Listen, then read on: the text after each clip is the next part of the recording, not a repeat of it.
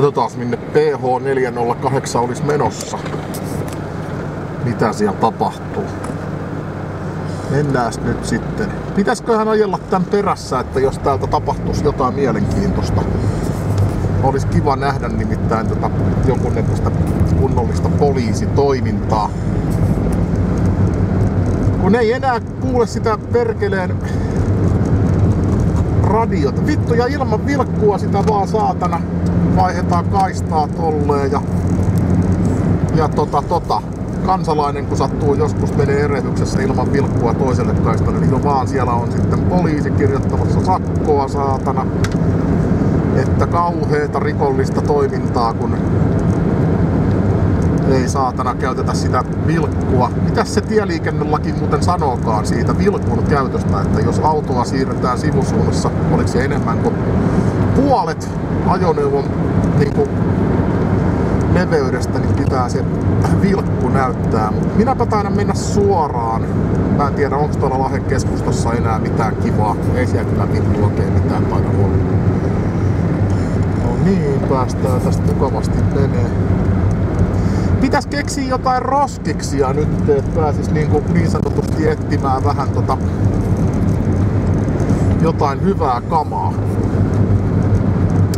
Hyvää kamaa pitäisi löytää. Ei taida kyllä löytyä. Miksi noin jarruttaa? Eihän tässä kannata ja... Vittu, tää on muuten jäässä ihan oikeesti. Kyllä tää vähän jäässä oli tää mutka siinä kohtaa nyt sitten ei kannata jarruttaa ollenkaan. Sehän lähtee saatana sivuluisuun siitä helposti, kun jarruttelee. Pitää vaan pitää keksintö vuosis ja lyödäänkö vetoon, niin kun ne varmaan on nyt jo havainnut, että mä lähdin ajeleen niiden perässä, niin tuota, ei mennyt saata. Mä oon ihan varma, että ne ajaa Aleksanterin katua, koska noin vaihdettiin taas kaistaa. Poliisi näyttää mallia, kuinka ajetaan. Jännä juttu muuten, että poliisit voi niinku seilaa tolleen saatana menee. Onkohan he menossa Mukkulaan kenties? Vähän vaikuttaa siltä, että Mukkula saattaisi olla siellä kohde, mutta mäpä menen tänne näin, en mä jaksa saatana lähteä niitä seurailemaan nyt sen kummemmin. Antaa nuo. Kun eivät ole vilkutkaan päällä, niin tuskin missään mitään tapahtuukaan. Rauhallista toimintaa. Saavuimme Lahden torille tai toriparkki työmaalle. Kääntyminen kielletty tonne. Ja toi on mun mielestä... Ei kun tonne olisi saanut muuten mennä. Tämähän on kaksisuuntainen. Siihenkin tuli kerrostalo, siitä lähti vanha talo pois ja kerrostalo tuli tilalle. Pääsisköhän täältä näkemään tota, mistään kurkistamaan, että mitä tuolla ihan oikeasti tapahtuu tuolla toriparkkityömaalla tällä hetkellä. Vittu ihme, ettei Lahden kaupunki ole laittanut mitään live-kameraa kyttää tästä. Ei pääse katsomaan. Saisi jonkun live-feedin vittu tuolta, tuolta tota, saatana toriparkkipaikasta. Täältä tulee jotain mummoja kävelee. Mummot kävelee saatana. Sitten tullaan Lahden keskustaan tässä mukavasti. Ei täällä niinku mitään ole. Makkaraa ja hodareita saatana saa siitä. Onks täällä jotain toimintaa? Ei täällä mitään toimintaa täällä Lahdessa ole. Hiljasta on. Hiljasta on kun huopatossu tehtaassa. Siellä on ambulanssi. Mitähän siinä on tapahtunut? Onko se, ei se ole ambulanssi, se on joku muuten vaan pakettiauto.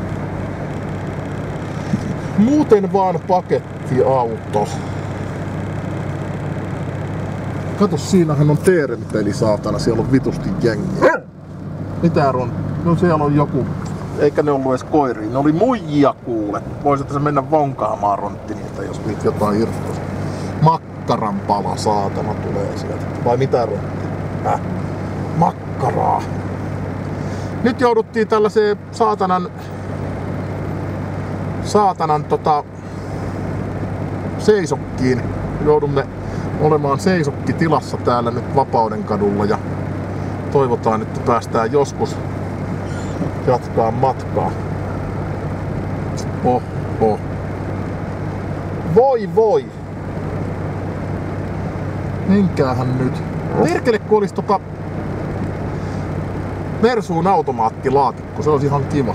Ainoa vaan, että se kyllä saatana vie polttoainetta jonkun verran. Miksei nämä valot voi vaihtua? Ykkönen vasta vaihtuu. Toisen se semmonen leuhka ajaa. Siinä jotkut morjastelee mulle se saatana. Vittu, mene nyt perkele siinä.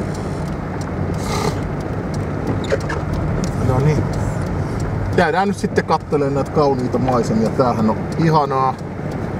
Saan olla tässä Lahden keskustassa parkissa ja tässä on parhaat nähtävyydet juuri nyt. Parhaat nähtävyydet ja tälleen. Oi sitä aikaa, kun täällä sai pienessä humalassa kulkea ja vähän horjahdella. Se oli hienoa aikaa se. Kumpa vielä saisin olla humalassa ja saatana reppu selkään ja kaljapullo kilisee. Se oli hienoa aikaa. Niin huoletonta ja ei huolen häivää ja kaikki meni niin hienosti. Tai mä tiedän meniks nyt niin hienosti, mutta ainakaan siitä kun ei niinku silleen välittänyt pätkääkään, niin ei siinä mitään. Noin tyttö pisti siinä tupakaksi. Tupakkahan on raikasta ja ravitsevaa. Ravinteliin menevät siitä tupakoimaan ja juomaan viinaa. Näin. Sitten me jatketaan matkaa. Lähdetään katsoa tonne Etelälahteen niin jotain roskiksia. Mikäs tähän on tullut joku kävelypömpeli, että kävelet täällä. Mitä tässä tehdään? Jotain tässä, jotain tässä rakennetaan. Noit pitää varoa noita alkoholisoituneita Lahden kaupungin asukkaita. Ettei ne saatana lipsahda tähän alle. Mennään säkkiä alta pois, kun taksi tuloo päälle. Ne ei paljon väittele. Saatana, saatana. Silleen. Mutta tällainenhän tää oli tää Lahtikierros nyt tällä kertaa, että jatkamme iloisesti tässä matkaa ja näin poispäin. Näihin kuviin. Näihin vitun tunnelmiin täältä Lahdesta. Olemme siis Lahdessa parasta aikaa. Lahti kaupunki on iloinen asia. Hoho.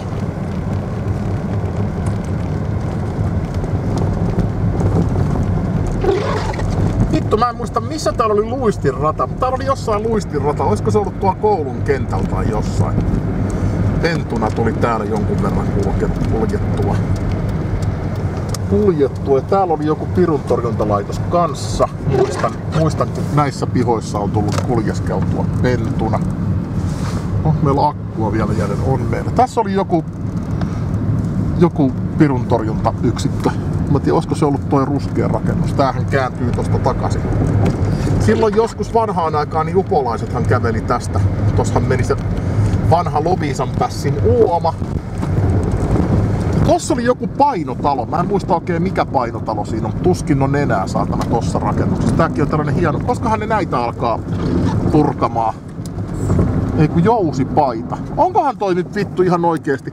No joo, just näin. Lahden mansettihan siihen tulee, eli se on matalaksi menossa toikin saatana. Joo.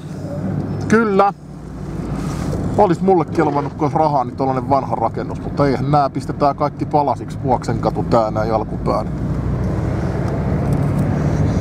Siinä on raffiti-taidetta saatana seinässä. Käydään katsoa täällä. Mennään vaikka kusettaa rontti tänne. Sehän on ihan hyvä käydä tänne paskannuttamatta. Vieläköhän tuolla muuten on sitä urheilukenttää? Ei siellä kyllä taida olla. Mennään tekee kakkaa. Kakalle mennään kohta. Rontille takka. Täältä mä joskus sain ruokaa saatana, kun tässä oli keittiö, mutta ei sitäkään varmaan enää taida olla. Tässä oli joku urheilukenttä joskus. Otetaan tää keksintö tähän parkkiin ja tää on kai Lotilan koulu tai joku saatana. Tääkin on vanha kuin perkele. Milloinkohan tää on tähän rakennettu? Joskus 60-luvun lopulta tai 70-luvun alussa. Mutta nyt me lähdetään pissittämään ronttia. Se on hienoa se. Jätetään tää Japanian ihme tähän parkkiin. Tää on oikeesti ihan jees.